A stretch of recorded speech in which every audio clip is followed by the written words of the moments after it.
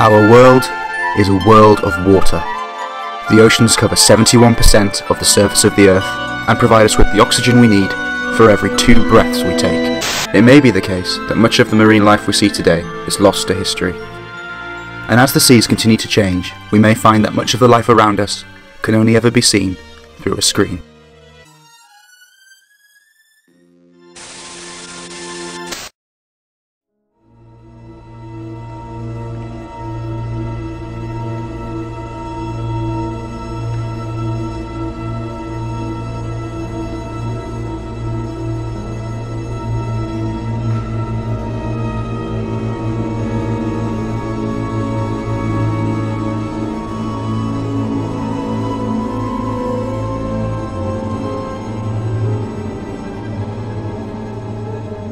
Hi, it's Emily from Bite Size Vegan, and welcome to another Vegan Nugget. The health of our oceans is absolutely vital to all life on this planet, including those of us on land. In fact, the oceans are the only reason our planet even has life. Earth's first breath of oxygen came from cyanobacteria over 2.7 billion years ago. But now, the oceans are facing total destruction from the very beings they brought to life humans. The collapse of our oceans will spell disaster for all life on this planet. As marine life conservationist Captain Paul Watson of Sea Shepherd says, if the oceans die, we all die. Humans have fished the oceans for thousands of years, but with the rise of commercial fishing methods, pollution runoff, and habitat destruction, marine animal populations are no longer able to replenish themselves fast enough. This video is going to look into the vital question Is our ocean running out of fish? And if so, what is the implication for life on this planet? This issue is incredibly complex, and we will barely be touching the surface.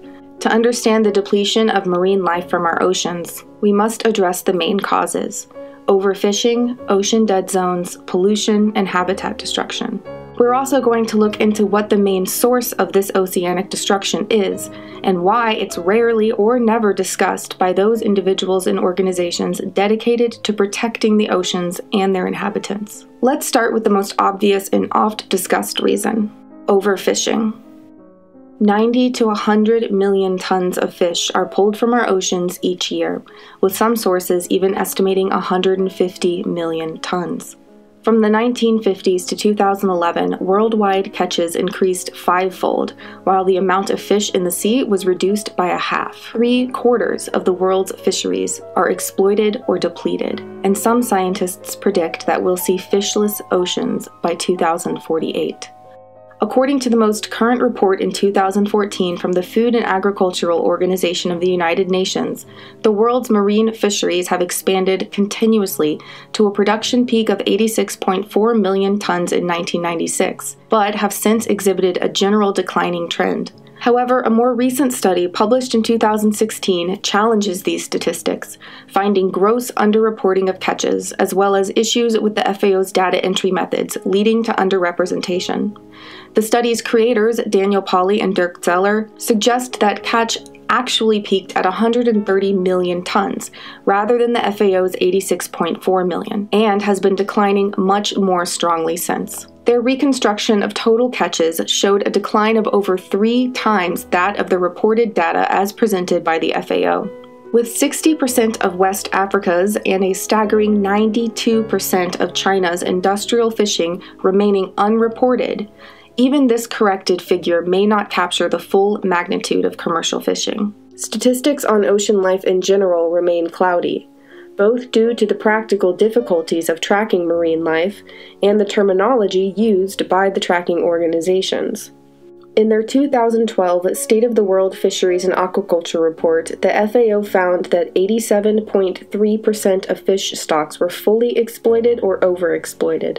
However, comparing this figure to the reports before and after is no easy feat. Between their 2010 and 2012 reports, the FAO had reduced its level of exploitation terminology from six to three categories. Now, in the most recent report from 2014, they've further clouded the issue, replacing exploited with fished, and introducing two vague categories termed sustainable and unsustainable levels. This terminology has the dual effect of both making the situation sound less dire and making the comparison between reports unnecessarily difficult. But when you pick through the data and unravel the terminology, the upward trend of fish stock depletion becomes clear. The bottom line is that as of the most current report from 2014 using 2011 data, less than 10% of our world's fisheries remain unexploited. It's not just the amount of fish being taken from the ocean for food that is the issue. Far more devastating are those non target species unintentionally captured, termed bycatch, or more accurately, bykill. According to the FAO, for every one pound of fish caught, up to five pounds of unintended marine species are caught and discarded as bykill. Though figures can be as high as 20 pounds of untargeted species for every pound of targeted animals killed. A report that came out just a few weeks before this video found that in select U.S. fisheries alone, bycatch in 2013 totaled approximately 689.1 million pounds. All of the industrial fishing methods used around the world come with the high cost of bycatch. One study analyzed bycatch solely from pelagic longline fishing in the Pacific Ocean. Longlining is a method which uses a main fishing line up to 100 kilometers in length, with secondary lines branching off of it, each set with hundreds of thousands of barbed baited hooks. The study found that 4.4 million non targeted marine animals are killed as bycatch due to pelagic longline fishing in the Pacific Ocean every year, including on average 3.3 million sharks, 1 million marlins, 59,000 sea turtles, close to 77,000 albatrosses, and almost 20,000 dolphins and whales. Trawling, the primary method used for shrimp, is often referred to as the ocean equivalent of clear cutting rainforest, with 80 to 98% of unintended catches being thrown back into the sea, dead. It's estimated that 650,000 marine mammals, including whales, dolphins, and seals, are killed or seriously injured every year by commercial fisheries outside the United States. Because of this, almost every foreign fish product sold in the United States enters the U.S. market in violation of federal law, namely the Marine Mammal Protection Act, which has remained pitifully unenforced for over 40 years with 90% of all seafood consumed in the United States coming from foreign sources. This means that the American seafood industry has a large hand in devastating marine mammal populations while grossly violating its own federal law. The mechanical method used for fishing isn't the only issue. There's also the method of species targeting. Humans tend to go after the biggest fish first until they are no longer available. Then they move on down the chain, a process marine biologist Daniel Pauly termed fishing down marine food webs. The removal of apex predators leads to what's called trophic downgrading, where the loss of predators allows other species to grow unimpeded, upsetting the entire ecosystem. One study suggests that the removal of sharks may contribute to climate change by leaving the unchecked numbers of species to feast on the ocean's vegetation, releasing the ancient carbon found there in massive quantities. Dr. Peter Macreadie, one of the study's authors, cautioned that if we just lose 1% of the ocean's blue carbon ecosystems, it would be equivalent to releasing 460 million tons of carbon annually, which is about the equivalent of about 97 million cars. It's about equivalent to Australia's annual greenhouse gas emissions. With 73 million sharks killed every year for the shark fin industry, and 40 to 50 million sharks dying every year as bykill, not to mention the impact of shark culls, the ocean's most vital predators are under attack, and the repercussions of their decimation will affect us all. Not only do fishers move from species to species, but they will also move from area to area, decimating one before moving on to the next. For example, 33% of the European Union's seafood comes from developing nations. While overfishing is certainly the most obvious drain on the world's fish and the most talked about, it is by no means the only cause. Ocean dead zones are a huge threat to marine life. Dead zones, or hypoxic zones, are areas of the ocean where there has been such a reduction in oxygen that animal life suffocates and dies. While ocean protection organizations will mention dead zones, they by and large ignore their number one cause animal agriculture. Animal agriculture is the leading cause of not only ocean dead zones, but also species extinction, water pollution, and habitat destruction, all of which severely impact our oceans.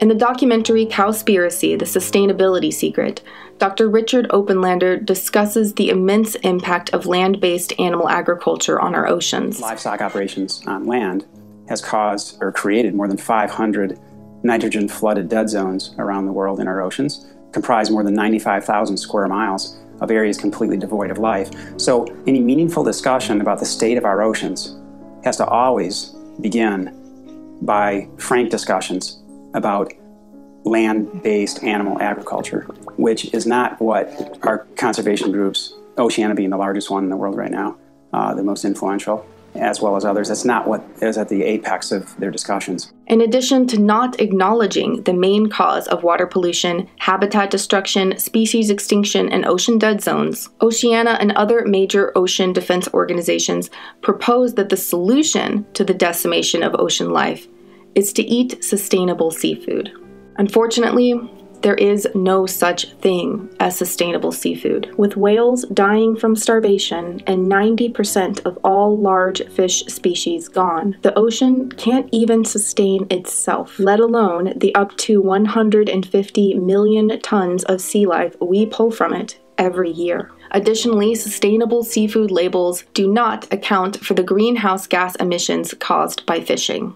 The 2013 State of the Ocean report stated Not only are we already experiencing severe declines in many species to the point of commercial extinction in some cases, and an unparalleled rate of regional extinctions of habitat types, we now face losing marine species and entire marine ecosystems, such as coral reefs, within a single generation. Unless action is taken now, the consequences of our activities are at a high risk of causing, through the combined effects of climate change, overexploitation, pollution, and habitat loss, the next globally significant extinction event in the ocean.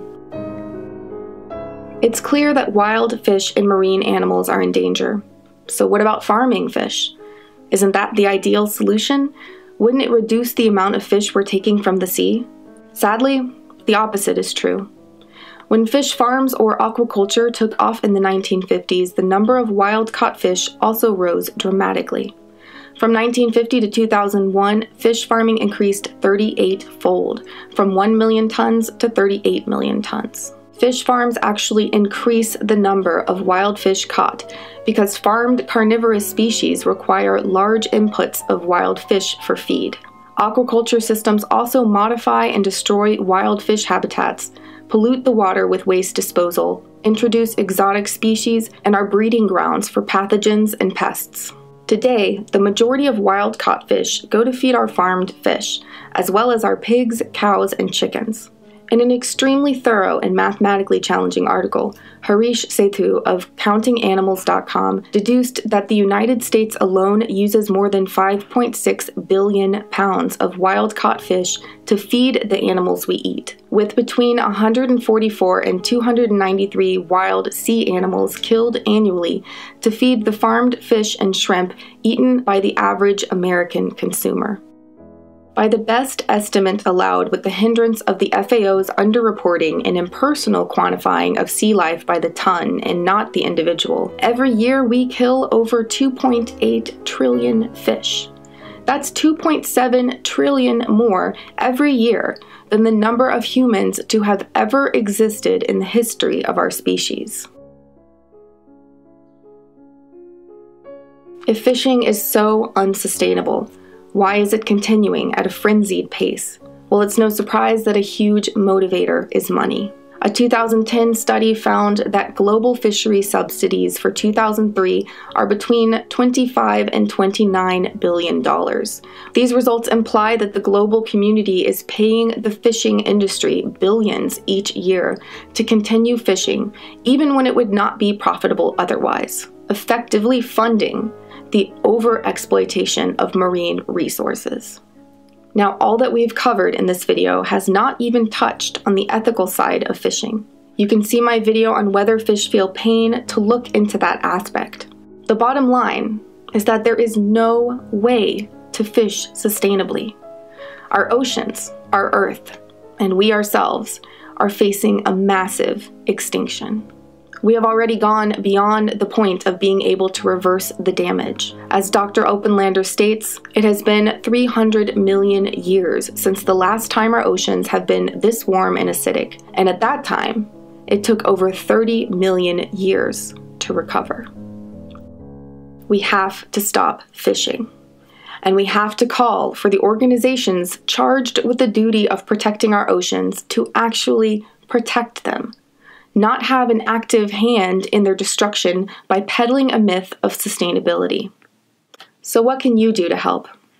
Stop eating seafood and educate others. Send them this video and or the blog post with all of the scientific backing via careful citations. Dig into those resources if you doubt these claims. But make a change. If the oceans die, we all die.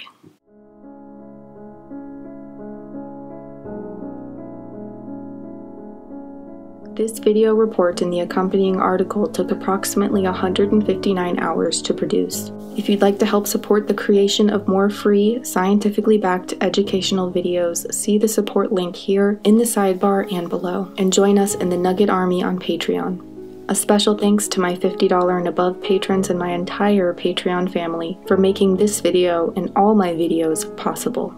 You have my undying gratitude. If you found this video helpful, please give it a thumbs up and share it with friends, family, and organizations to educate and inspire action. At this point, we are the only hope for the ocean, and the ocean is our only hope for survival.